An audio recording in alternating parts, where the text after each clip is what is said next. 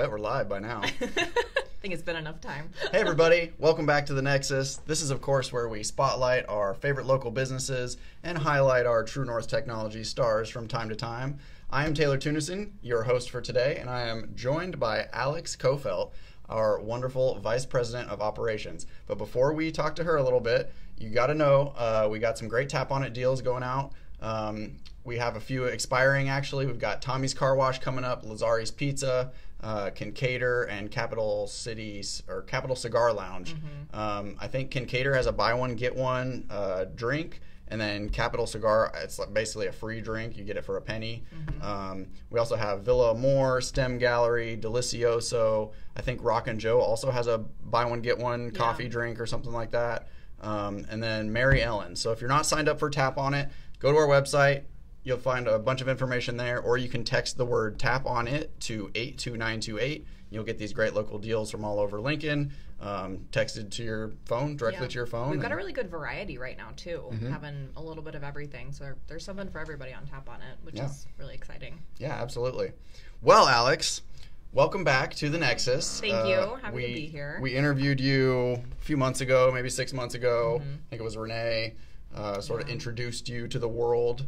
Um, but a lot has happened. Uh, that you're coming up on a year, is that yeah. right? Yeah. So my first day was uh, January 4th of this year, first Monday Mm. of the year. So coming up on a full calendar year of being with True North Technologies, and it's been it's been a lot. It's been exciting Yeah. to see you know how things have changed, how we've grown, Mm-hmm. um, you know, sort of how the way we do things has shifted as we sort of fine tune our you know our processes and our Right. services and stuff. So it's been it's been really good. Yeah, it's a lot of fun here. Um, and you've also grown professionally quite a bit. Um, Yeah. you've taken on a lot of extra responsibility. Yeah. Um, so let's you know backtrack a little bit. Uh, speaking of Kinkaider, uh, I think that's the first time we met. Uh, we sort of Mm-hmm. Had a, a social. We had everybody um, around at Kinkaider for drinks, and this was I think uh, that was our very first tap on at blast. We had Kinkaider. Yeah. Um, It you was know, like the first month. November of last year Mm-hmm. because it was between when I had accepted my offer and then actually attending strategic planning and then and then starting. So Yeah. it was kind of a fun, you know, way to get introduced to the team. Yeah. Um, you know, everybody was out, you know, having a nice time, Mm-hmm. you know, supporting local business, which is something that we're all super passionate about here. So Yeah, and I think they had a buy one get one at that time as well. yeah, it was buy one get one for a penny. yeah, so it was that, great. Uh, That peach can't beat it. That's what it was. Yeah, Yeah. it was a, a peach, white peach. Yeah. Uh, something, something else. Yeah. But that was it was really good. Yeah, if you are of legal drinking age, I highly recommend it. I think you can find it on Kinkaider's site as well. Oh, They've got you know breakdowns of, of their beers. So Yeah. that was a fun uh, first impression of Yeah. the team, um, and kind of uh, a little low key, not so uh, like formal. yeah, Yeah. yeah. Um, and then you mentioned strategic planning. So why Mm-hmm. don't you tell us a little bit about that? Yeah, so strategic planning was in December of last year. Mm-hmm. Um, so again, preceded my actual official start date, but it was really neat to come in and get kind of this broad overview of. Um, you know where the company had been the previous year, what you know the existing team's plans were to sort of carry us through this year. Um, it was a really good rundown for somebody coming in new to be able to really wrap my arms around a lot of what was going on and what we had planned.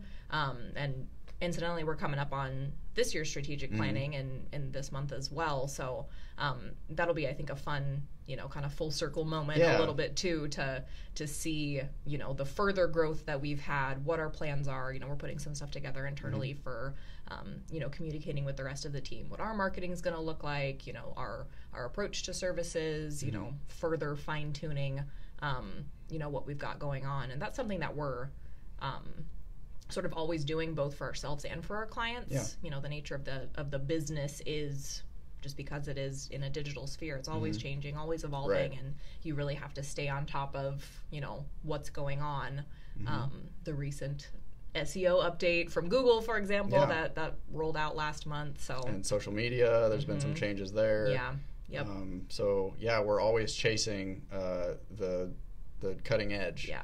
Um, and we're, we're never going to get there. That's No. kind of that's, that's the battle, you know. You That's you the your best, part and. The worst part is you're you're never done. So it's it's you know gratifying in the sense that you know there there's always room to grow. There's always room for self evaluation Mm-hmm. um, of the things that you're doing, but there is always the element of of learning and striving and Right. you know staying ahead of things when you can. Yeah. So Yeah, and I think our clients are really grateful that we are kind of on the front lines. Mm. Yeah. you know, and uh, they don't have to. Either they don't have the time, or they're not skilled in it. They don't Mm-hmm. Like technology. Um, but it's it's like we're fighting for them. We're- yeah. Well and that's something that i that i hear from clients pretty pretty consistently. I mean instagram and facebook both had um, algorithm changes within the last four to six months. Um, so as these things happen you know that's something that i do my due diligence and i make our clients aware of of this is what we are expecting to see happen for you. This is how we're going to overcome maybe some of the limitations that are being imposed and you know almost every single time i get a oh my god i had no idea Right. or i'm so glad that you know about that because i i was completely unaware so Yeah, and we it's an not- additional kind of value add to the service we're not just here you know making beautiful graphics for Mm. your social media we are constantly you know kind of keeping our fingers on the pulse of what's Yeah. going on what's coming next how do we again consistently fine tune and tweak to to see improvement or keep things you know stable at the very least and it's something you do sort of naturally. Um, we we tend to be so close to the action that even if we don't hear about it the first day Yeah. or the first week, we generally hear about it first Yeah. Mm-hmm. before most of our clients, uh, friends, family members. Right. Um, and it's just sort of like by osmosis. Right. Um, we either notice a change or we get you know an update through the platform itself. Right. Or we do a little bit of digging and, and find a news article or find a Yeah. publication somehow. Well, and I'm big on. Um, I have a couple uh, newsletters that I get, you know, a couple times a week. A couple of them are daily. Um, but you know, it's it's so crucial within the sphere of digital marketing to constantly be seeking out new information, opportunities, learning from other people's mistakes, learning from other Yeah. people's successes, Right. um, and you know, sourcing that kind of information from from other people. Really Mm-hmm. relying on you know other people who are in it. I'm in a I'm in a Facebook group even Right. of of digital marketers daily, that are daily carnage. yeah, the Daily Carnage. Yeah. Yeah. So it's a it's a you know some parts you know complaining about new updates or you know rolling out or you know providing advice. It's a, been a Mm. really great resource for for me, and I've been able to even be a resource for others within the group to say you know. I'm having this issue. Have you tried troubleshooting this Mm. this way, or this is how we are are seeing performance impacted? Mm-hmm. Um, I mean, we have people comment. There was one relatively recently of they're like, I have a tagline. This is what I have right now, and I'm really not happy with it. Can you guys weigh in, help out? Yeah. Um, so kind of further extending that sort of one of our core values at True North is collaboration. Mm-hmm. And so I think we, you know, just because of the people we are collectively as an organization, we do that even outside of the confines of the office, Yeah. which is pretty cool. yeah, it's really rewarding to be a part of this uh, global community, Mm-hmm. Yeah. really, um, of of tech insiders. Yeah. Uh, you know these these businesses that there's a variety of you know services that are provided, but Right. we're so interested in the minute details Mm-hmm. um, that people who aren't so close to the action, Right. they don't care or they don't want to spend time or Sure. And it can be intimidating too, especially for a business owner, the amount of time that it takes to learn about these things or, you know, if you don't have the sort of existing baseline knowledge to understand what an update means, how it might impact you, why it was being implemented in the first place to Right. know whether it applies to you. The, the the recent update, for example, with with the SEO side of things, um, I don't expect to see much change in performance for us or any of our clients because we don't employ any black hat strategies. Oh, so right. they're some of these are a little kind of in a gray area of they're calling it a spam update. But Yeah. but because we are the good guys of the internet in Mm-hmm. a way, you know, we we have the knowledge to know you aren't going to see impact. Whereas a business owner who's trying to manage this themselves and is kind of you know maybe fumbling through, fighting their way to just do their best, may unnecessarily be scared of oh my goodness, there's an update. Mm. Is this going to tank my traffic? Absolutely.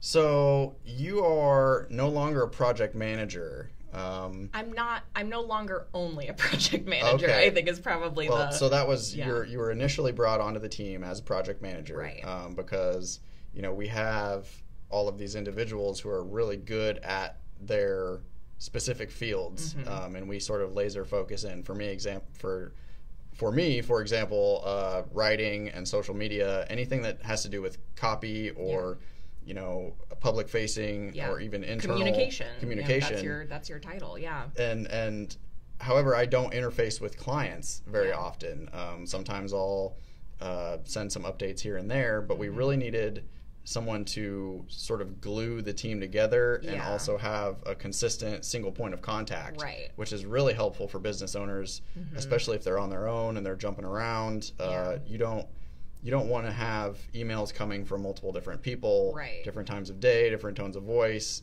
Everybody's got sort of a different um, preference. Sure. Um, and if we can tailor to to the client, and I think that's that was the main reason why we brought you on. But then was it three months in or so? Yeah. You got this shiny new title. Yeah. Um, Vice President of Operations, Right, which yeah. essentially means that you have your hands in all the projects. Mm-hmm. Um, you get to interface with all the clients. You interface with all the team members.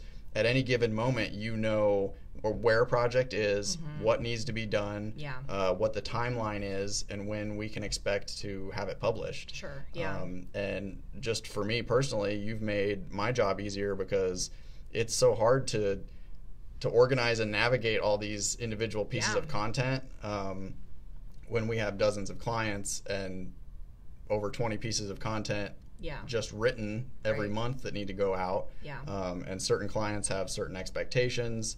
Um, we have our own standards, Mm-hmm. Yeah. but um, you make sure that we hit things on time, if not ahead of time, Yeah. um, and that our clients are satisfied, and we don't stop uh, Yeah. with edits or you know complete overhauls unless Yeah. um, unless they're satisfied. And uh, Mm-hmm. So I'm really grateful to have you on the team simply for that. Um, is there any service or process or maybe project that really stood Mm-hmm. out or that uh, you enjoyed was really fulfilling to see through through the end? Yeah, I will say that's one of my things that I was really nervous about coming into the newer role um, because sort of the need became apparent that it's not enough to just have someone sort of overseeing how these projects are progressing.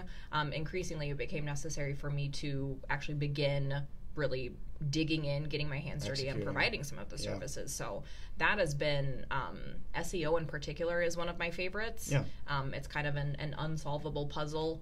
Um, so I have an opportunity to, you know, see these projects through from start to finish and, you know, consistently be making these changes. I personally write blogs for several of our clients. Um, I'm, I do Google My Business updates for people, you know, keyword research. I collaborate with Dylan on how we're going to implement those into, you know, their sitemap, those kinds of things.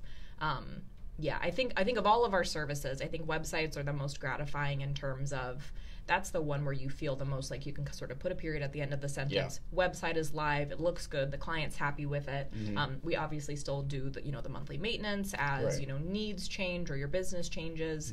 Um, but I think SEO is probably my favorite of our services because there are so many components that kind of fit together in unique and interesting ways that are that are you, you you're never done. You're never done learning. No, certainly not. Um, and even if you do have a great website, even if you do publish content regularly, Mm-hmm. um, it's it's an ongoing, never-ending battle Yeah. Mm-hmm. to keep.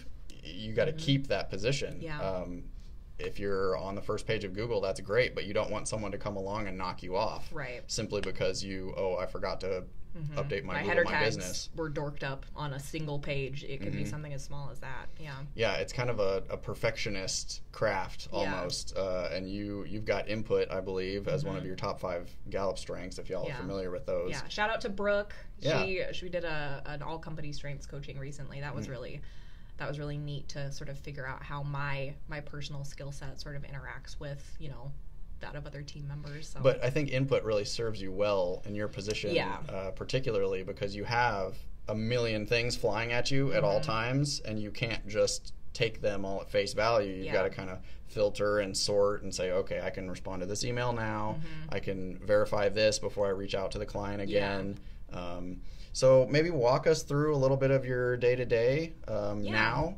and uh, what uh, what that looks like um, throughout the week and if, Yeah, if definitely. different stages of a project maybe Yeah. Um, so one overarching thing is um, client communication is always a part of my day to day. Right. You know, responding to emails, organizing information that clients send our way. Um, we do strive to have the project manager be the, the, the primary point of contact, if not a single point of contact. Mm. Um, there are times, for example, where Dylan knows specifically what he needs for a website, and so it's not smart to play a game of telephone and have right. me send that email. So he'll he'll be the one to take care of that to make sure he's getting exactly what he needs. But day to day, you know, we have our marketing meetings internally biweekly, yeah. um, where we sort of strategize and plan out our own social media content, look for opportunities to you know really highlight our services as well as ourselves. Mm-hmm. Um, and then weekly um, checking in on performance for client social media posts yeah. um, you know the page management aspect of that making sure that we're you know responding to comments google my business updates happen yep. weekly that's one of the best practices and something that we include in our service um, and just whatever other random little things get get thrown at us. I mean, mm-hmm. we have clients sometimes like, you know, I'm, I'm, I'm sorry to ask, but I'm, I'm misunderstanding or I'm not sure I'm clear mm-hmm. on this aspect of what you guys are doing. Can you talk to me a little mm-hmm. bit about that? Um, that I think is is one of the biggest ways that that input serves me and my connectedness a little bit too. Is yeah. I'm always gathering these little bits of information, and mm. this role in this industry, especially. Um, I have an opportunity to not just collect them in my brain, but yeah. to put them to use mm-hmm. and to teach other people about them. Um, our managed services clients get meetings with me monthly, mm-hmm. um, so that gives me an opportunity to talk them through strategy, talk them through what I've learned recently, mm-hmm. and you know how we're going to put that to use for them. Um, so the educational aspect is really is really sort of gratifying for me too to be able to not only learn these cool, you know, interesting kind of quirky things, but to then be able to share that information with somebody who wouldn't have a you know a desire to seek it out otherwise. Absolutely, and because everything, just about everything we do is so digital, mm-hmm. we have a vast wealth of data. Yeah. Um, and I know that's something that we sort of nerd out uh, yeah. on from time to time, um, whether it's traffic mm-hmm. or uh, keywords. Yeah. Um, being able to see or you know click to call mm-hmm. these sort of things that business owners really need, they're really yeah. looking for.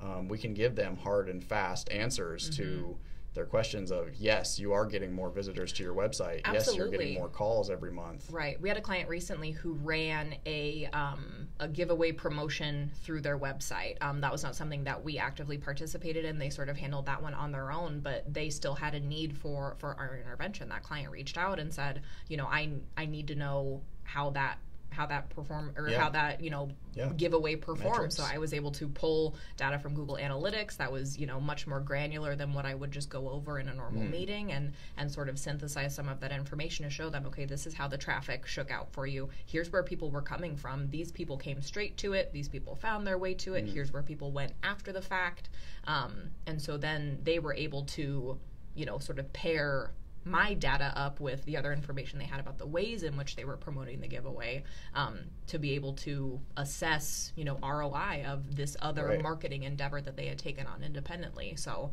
um, yeah I mean we talk a lot about value add around right. here yeah. and to be able to you know kind of go above and beyond a little bit for for our clients is something that I'm really personally proud of that that we all do mm-hmm. um, and it's I think our clients' businesses are better for it. Absolutely, it's like we're a partner, um, mm-hmm. we're a resource for yeah. them, um, and whether or not we've built their website, whether or not we you know do any ongoing maintenance for them, mm-hmm. um, we still have the opportunity to see things like.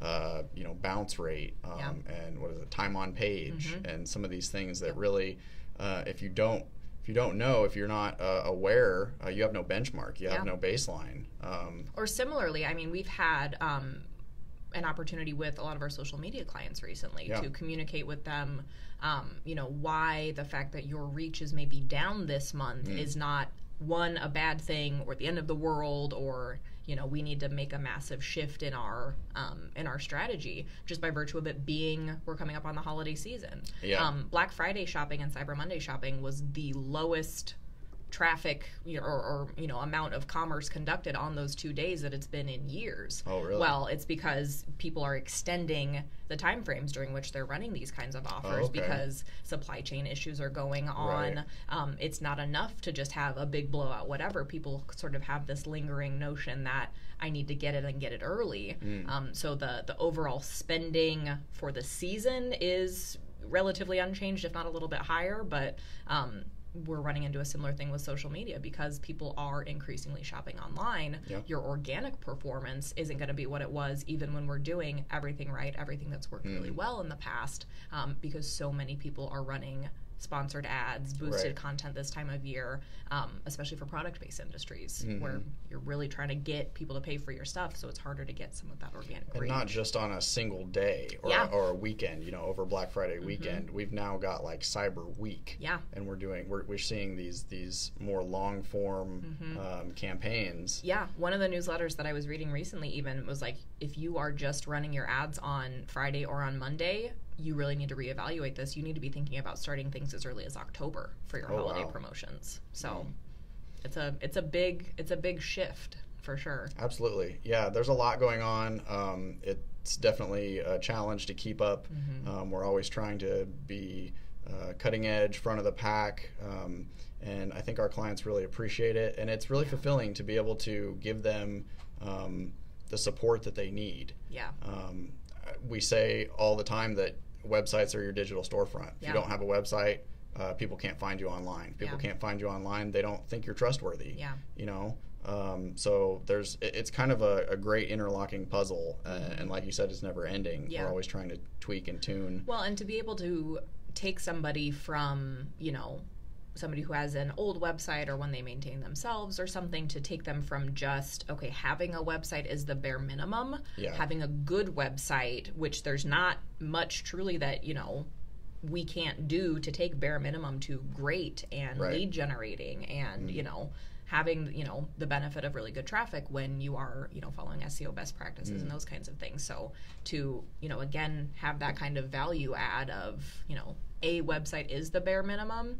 Let's take you up a notch. Let's let's get this beautiful, user friendly, mobile optimized um, to really get you the best value out of you know this this asset that you're maintaining. Absolutely, that's a great way to think about it.